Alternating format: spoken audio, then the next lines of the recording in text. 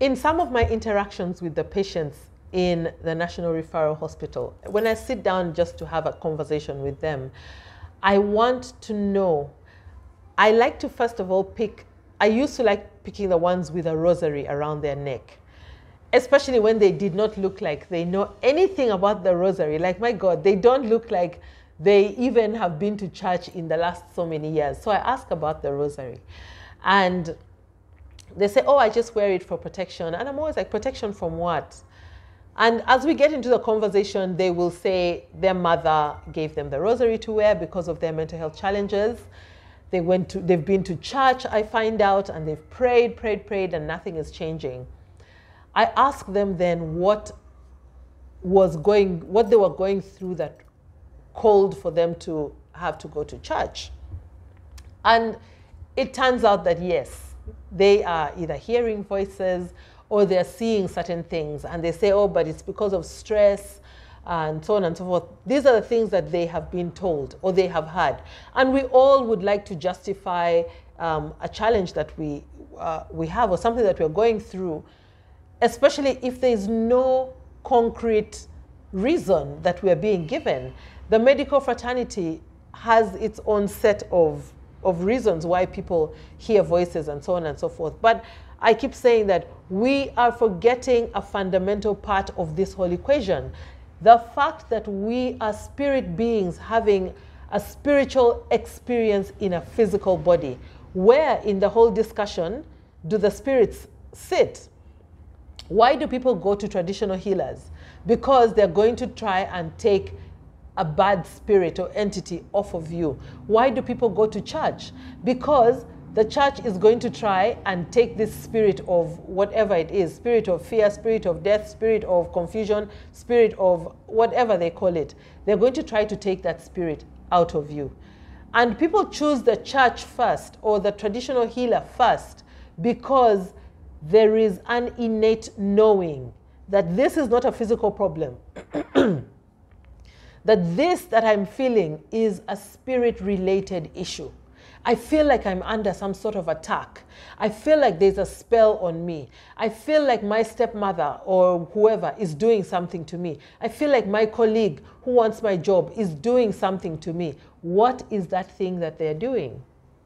We say these things, but we never concretize it with the actual thing. We never allow our mind to tell us. We never allow our soul, our own spirit, to tell us which other spirit is involved. Because at that point, now we sound ridiculous. At that point, it can't be it. Being possessed by a spirit, we know is, we've seen in movies, we've heard in churches, it's such a horrible thing. Like, like you are in bed with the devil. You have the devil on you. And this is the downside of how this whole spirit thing has been presented. And this is why people are afraid to speak. Because to say that I hear voices, to say that I see things, to say that I feel things, to say that um, some sort of entity made me do it, is to admit that you are under some sort of demonic attack or some possession. Now, I will tell you that yes, you are being controlled by some form of spirit. But you're only being controlled by that form of spirit because you have allowed them to take charge. As a physical and spirit being, we have sovereignty in this world.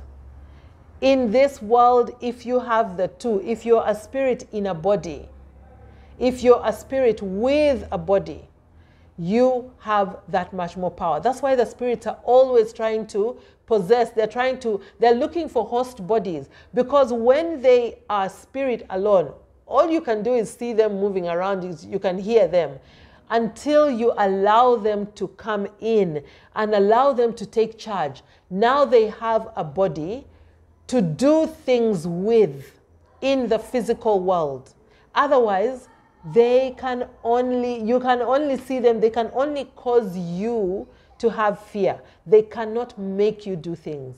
So by allowing them to number one, come in, and number two, start to take charge of you here so that you do as your mind says.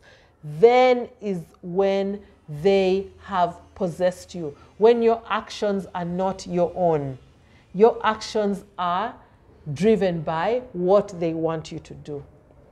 A lot of people who are now suffering mental health challenges are in that place. And what we call therapy is that counselor, that therapist, that practitioner trying to speak to the true you, to give it back its power, to give you back your power, so that you can start saying, wait a minute, I am not these other things. I'm not these other lies that I have fed myself.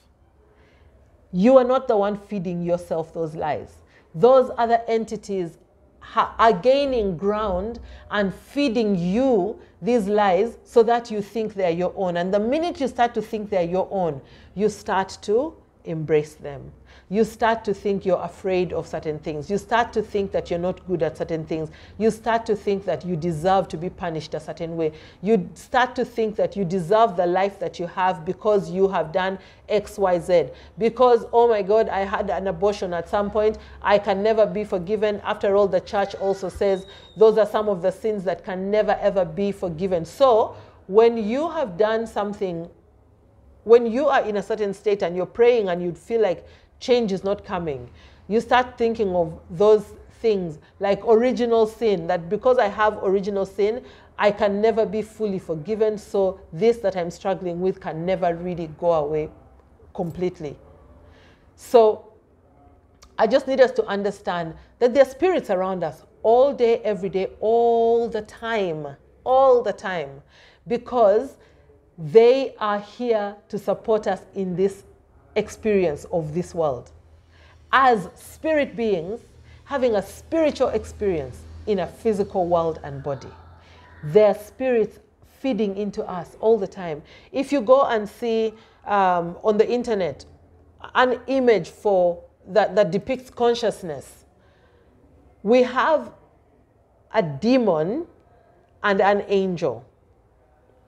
There's a picture of a, a devil or a demon, and a picture of a, an angel whispering to us. They're sitting on our shoulders. That's just one. There's tons of them that come to, to give us different, they all have different, um, what are they called? Attributes. They all have different spiritual attributes. There are those that are all about business and all about poverty and all about um, fear of speaking up. They're all like different attributes. So they sit and all of them are speaking. It's up to you, depending on what you're going through at a given time. You choose which one you want to listen to based on what you're looking for. It's like someone comes and says, um, someone sent me a message the other day. She wanted to get in touch with somebody who she knew was not a good idea getting in touch with. But because she wanted validation of her reason to get in touch with this person, she went to somebody else and asked, Well, I'm thinking of getting in touch with this person. This is how I'm feeling. This is what I want to do, and so on and so forth. Person says, No, bad idea. Do not do it. Goes to a third person. They say the same thing to her.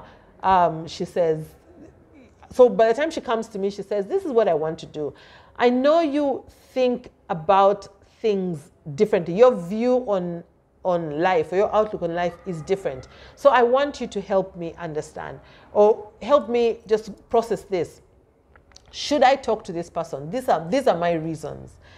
I tell her the same thing. I said, no, do not talk to the person. However, sit with the reason why you want to talk to this person because there is information there that is good for you to know and to understand. And she's like, What do you mean? So I explained to her that there is a voice that is saying, Talk to this person, and another that's saying, Don't talk to this person. Now you need to ask, Okay, what do I feel when I think about this person? These are my feelings. Why? Why would I want to talk to this person? Listen, that entity is going to tell you. And then you're like, okay, so why shouldn't I talk to the person? That entity, another entity is going to tell you. And then you're sitting literally in the middle weighing and choosing. So if it finds you at a place where you're low and you feel like you want to call this person and maybe abuse them and tell them off and tell them what you feel and how they made you feel, you're going to choose the voice that tells you you need to stand to stand up for yourself. You need to let this person know that they cannot just use you and abuse you. They cannot put you down or whatever. And you'll say, Yes, I think it's time for me to stand up for myself. But if you're more balanced, you listen to the two. You weigh, this makes sense. Yes, I should stand up for myself. I should let the person know. Then the other voice is saying, Yes, you can do that, but not now. You need to be more confident of who you are. You need to be more sure of your position before you can go so that you don't look like a fool. And then you will say, Okay, I choose this because it makes sense because I like what they're saying. So this is what this is how these entities play in our world, in our lives. So that if you choose, if you make a choice, depending on where you are, of going with uh, the entity that is giving you negative things, then that is who you become. That is the power that you give them, and eventually they can control your existence.